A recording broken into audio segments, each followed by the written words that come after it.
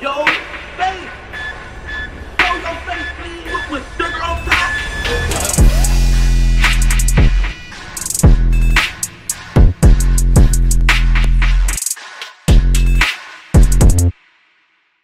what's up, y'all? Y'all know my slogan. I don't know it all,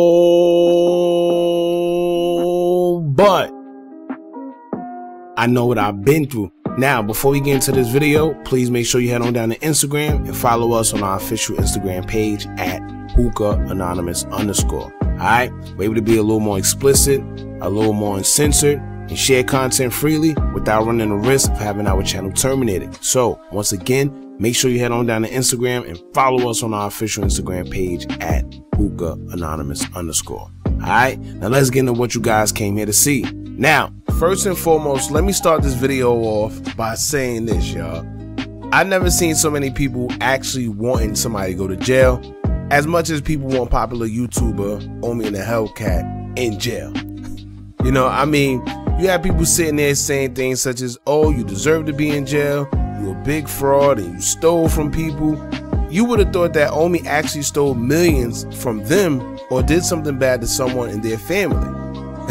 You know, but that just goes to show you, man, the amount of hate that people have in their heart for others, and it don't even matter whether they know them or not.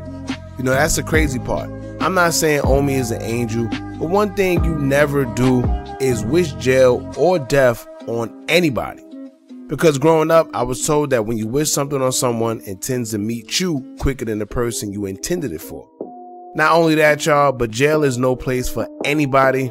Um, I mean, of course, if you done got somebody off this earth or you touching minors or things of that nature, that's different. But I feel if people actually got to experience jail, then you wouldn't be so quick to wish it upon people. All right. Now, do some people deserve to be in jail for breaking the law? Of course. All right. From that aspect. But my point is, some people are just social media driven to have hate for other people that they don't even know. And it's just based off things that they see on social media. And that's bad, man. But anyway, I said all I had to say this. As y'all know, popular YouTuber Omi in a Hellcat was arrested and convicted on counts of fraud, money laundering, conspiracy, copyright infringement, and tax evasion for a scheme in which he illegally sold content he hijacked from cable boxes to subscribers for fees as low as $15 per month.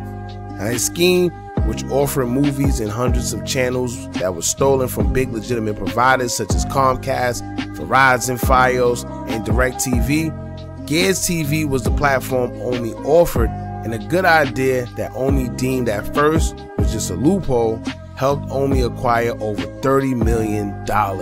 And that's just the money that the feds could prove. Alright, ain't no telling if it was any more or we'll just keep it at that, man.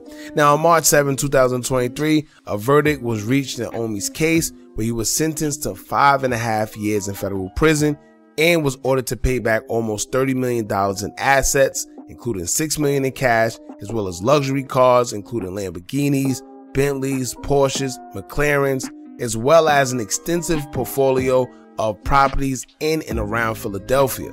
Before surrendering himself to the feds, Omi would make videos documenting the countdown to the decision of his fate.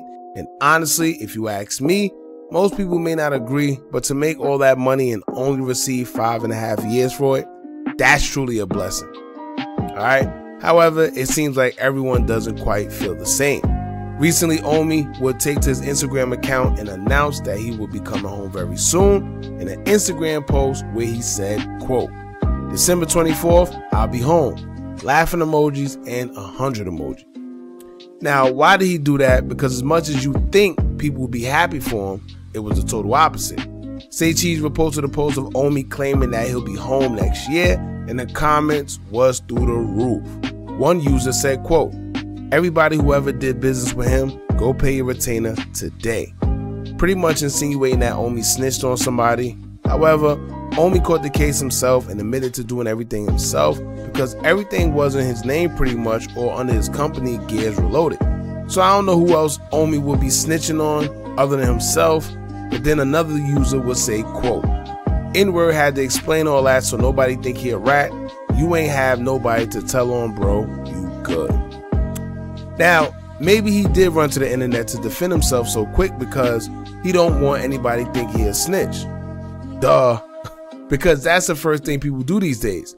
That snitch term is so thrown around so loosely these days that it's not even credible anymore.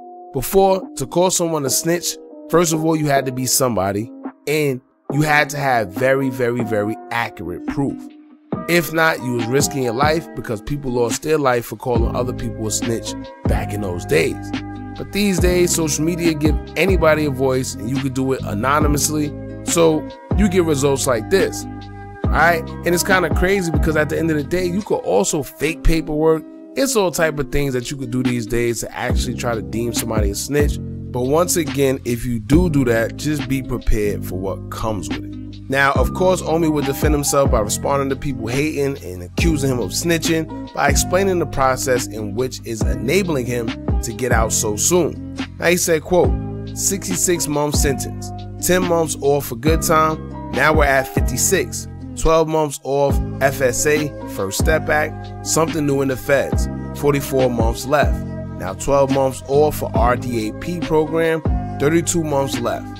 Now 12 months in a halfway house, so that's how you serve a 20 month sentence out of 66 months. Fire emojis, the feds changed the game, 100 emojis. Now, of course, people are going to be people and still say whatever they got to say. So after receiving backlash, Omi will also take to his story again to say, quote, I never knew that there were so many dumb people in this country. Laughing emojis. Or if you don't know about a topic, read and learn. FSA was signed into law over three years ago, and in 2023, in February, it went into effect. Now, of course, people will continue to call Omi a snitch in the say cheese comments, so he will respond by trolling in the comments to the naysayers, saying, quote, You know what? I am a snitch. I snitched on my damn self for getting online and buying lambs and living the way we all dream. So yeah, I told on myself. So for you guys that are lost about an FSA and you know what it is, FSA is an acronym for the First Step Act, which was passed by former President Trump in 2018 to reform federal prisoners and sentencing laws in order to reduce recidivism, decrease the federal inmate population, and maintain public safety. It was approved this year in February. However, you do have to qualify for it first and be approved. Now, another program mentioned by Omi was RDAP, which is short for Residential Drug Abuse Program. It's a program offered by the feds. It reduces the sentences of nonviolent offenders who complete the RDAP program by up to one year.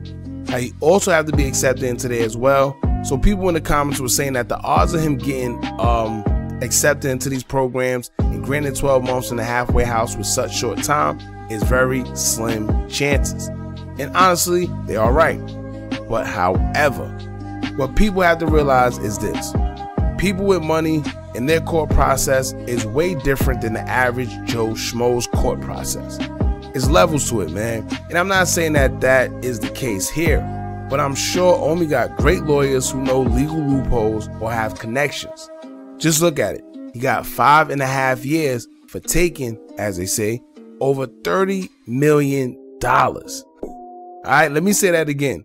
He got just five and a half years for taking over $30 million. I know people doing way more time than that for way less. you see what I'm saying? Not to mention, ask yourself, you know how many people would say, you know what, I would sit in jail for five years or three, you know, if I was to get 30 million for it. It's like a, it's, it's a no-brainer if you think about it. 30 million, five years in jail. Which one you want to take? In the five years with good time, usually just convert to three. And from what I'm hearing, you know, the feds got all type of programs to, you know, lessen your time for this and lessen your time for that. So who knows? That's what I'm saying. But my whole point is to tell y'all this. People with money, they're corporate. You can't compare that to yourself You can't compare that to the average Joe Schmo that's on the block that caught the same case because the money is different. It's levels to it. I know it don't sound right, it may not sound fair, but it's that's how it is. Simple. Or even better, think of it as the same thing as these rappers who continuously get caught with these weapons and somehow don't do a day in jail. Perfect example, Boosie just bonded out when everyone thought he was cooked for that weapon charge, and it was literally seen on him during a live interview. Then you also have to remember that Omi's crime is non-violent. No weapons involved, nobody hurt or passed away, no drugs, no nothing. So you can't compare his process to others because I also know from experience that non-violent crimes usually don't get too harsh of a sentence, you know, unless you're Bernie Madoff. then that's totally different. All right. Now, however it goes for Omi in a Hellcat, man, I wish the best for him. I wouldn't wish jail or death on anybody, especially for a non-violent crime. I just find it funny how we put so much energy into things that really don't matter when your politicians are getting away with much, much worse and nobody seemed to care.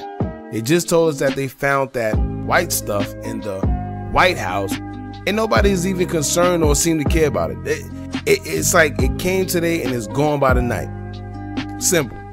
But let that be me or you, and you know, everybody be so worried and concerned. Anyway, y'all jump in the comments, let me know what y'all think about this and how y'all feel. Um, we just launched the Hookah Anonymous TV page. You know the channel. Y'all go check that out. We'll be uploading lives and clips of videos of your favorite entertainers, athletes, everybody. So make sure y'all go subscribe there now.